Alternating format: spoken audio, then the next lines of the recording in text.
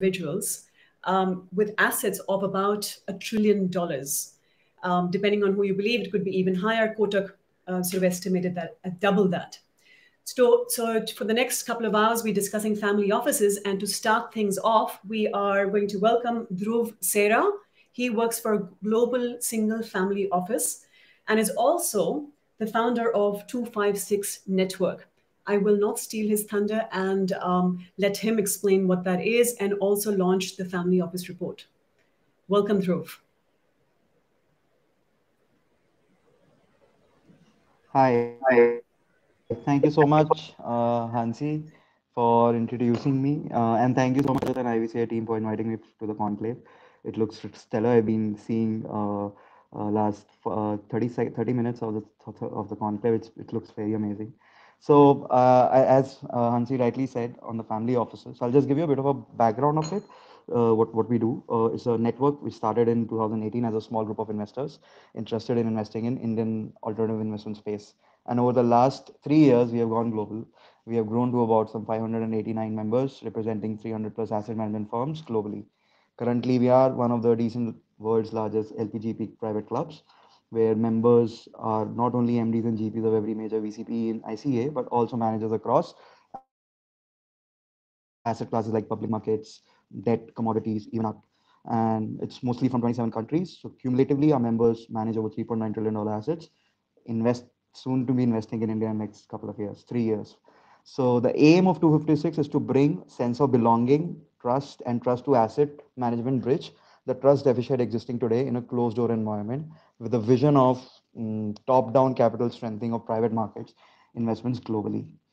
So last year, uh, 256 community came together to supplement the emerging demand in investing into tech VC towards informed investing decisions. And we did this through support of our members who helped us with their knowledge and experiences that we have summarized in the family office report through data and experience experiential insights 256 network has accumulated a one-stop primer for the first-time investors in venture capital and technology startups as an asset class.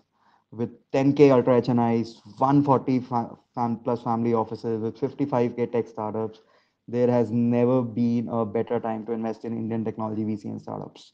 And over last um, between 2014 and 19, family offices in India participated in over 1700 startup investments, with ma many making lucrative returns from their early investments.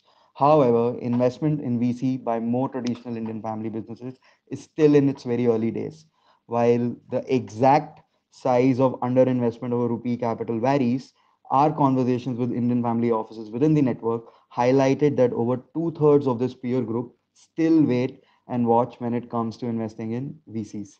Uh, next slide. Uh, yeah, next slide. Yeah, preferring. Uh, yeah. So and with if you see this, it preferred they prefer to keep their portfolios wedded to conventional asset classes like stocks, real estate, and gold. Many family offices do not benefit from the healthy returns generated by the VC investment.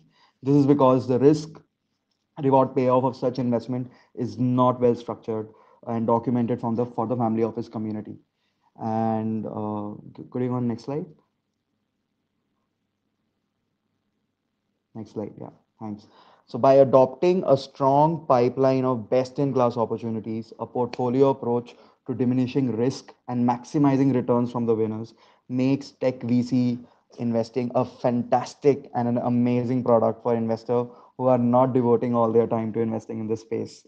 And as a network of global decision makers investing in India's innovation ecosystem, we at 256 firmly believe the contribution of Indian family businesses will make in giving wings to India's growing startup ecosystem. And I'm going to quote one thing. So this is uh, given by Mr. Kris Gopalakrishnan in our report that in a world dominated by international capital, it is time for Indian investors and families to invest in their backyard in VCPE asset class, support Indian entrepreneurs, and generate decent returns.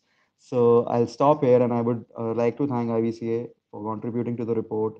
And the next two gentlemen coming uh, on the panel, Mr. Sethi and Mr. Manjal, they have been the biggest contributors to the report as well. And being Mr. Sethi being one of our advisors as well.